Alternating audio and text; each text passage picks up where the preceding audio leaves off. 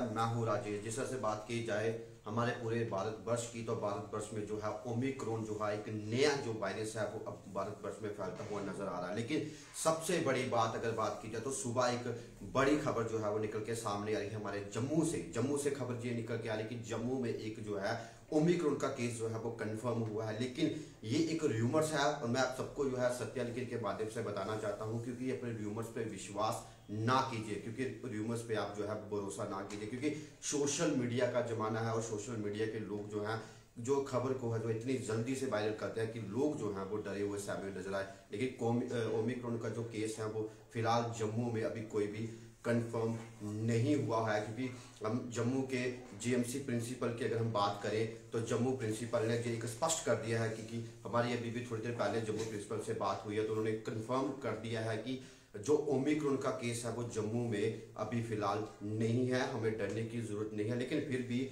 Mask जो है, वो हमें ज़रूरी डालना है। मास्क जो है, वो हमारे लिए अनिवार्य है। सैनिटाइजर का इस्तेमाल कीजिए। सोशल डिस्टेंस का जो है, वो खासकर उसको ध्यान रख रहा है। गैदरिंग जो है ऑलरेडी हमारे डीसी जम्मू जो है, उन्होंने गैदरिंग जो है, वो ऑलरेडी कम कर दी गई। लेकिन ओमिक्रोन एक बढ़ता हुआ जो है वह पूरे देश में जो है बढ़ता हुआ वायरस जो है नज़र आया क्योंकि लगभग दो साल हो चुके हैं हमें कोविड से गूंजते हुए, लेकिन नया साल भी आने वाला तो हम उम्मीद करते हैं कि नया साल जो है सबके लिए अच्छा आए। लेकिन ओमिक्रोन की जो एक बड़ी बात जो है, जम्मू में सामने, कई न्यूज़ चैनलों ने ये चलाया कि ओमिक्रोन का जो केस है, वो जम्मू में सुबह जो है केस सामने आया, लेकिन इसकी पुष्टि हुई है।